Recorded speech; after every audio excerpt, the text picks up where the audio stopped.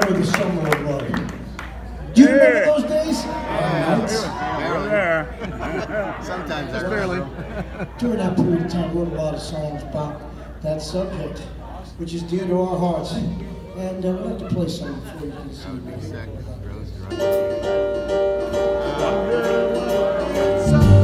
I don't know what